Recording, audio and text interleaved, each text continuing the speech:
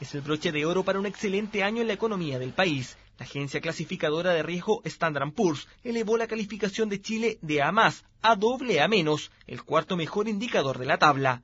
Para los expertos, una señal de confianza que responde al buen manejo de las autoridades en este ámbito, con una economía resiliente, es decir, que se fortalece a pesar de la crisis internacional. Un accionar macroeconómico bastante sólido, con un banco central con fuerte independencia, ¿ya? Eh, y también por una situación puntual de estos últimos años, donde a pesar de la crisis la economía chilena eh, ha, ha podido seguir creciendo.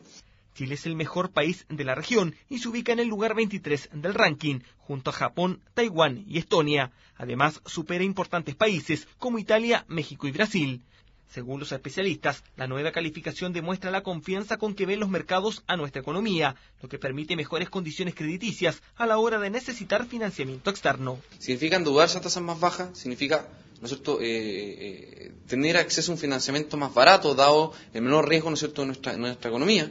Eh, y eso significa poder generar nuevos proyectos que quizás antes no era viable en hacer la tasa de endeudamiento más alta. Pero el gobierno no es el único beneficiado. La mejor nota de deuda soberana también se proyecta a las empresas, que también serían vistas con una mejor solvencia para pagar sus compromisos. En el último año, varias compañías han anunciado la emisión de deuda como fórmula para financiar sus proyectos de inversión. Cencosud y Corbanca son ejemplo de aquello, aunque este último ya lo hizo en el mercado local.